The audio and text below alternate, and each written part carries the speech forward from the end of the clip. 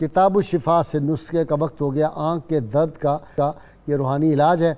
इकतालीस मरतबा सूरह फातिहा पढ़कर पानी पर दम करके सात कतरे आँखों में डालें इन आँख का दर्द ख़त्म हो जाएगा। शर्त यह है कि अव्वल आखिर ग्यारह ग्यारह मरतबा कोई भी दरुद पाक जो आपको आता वो ज़रूर पढ़ें।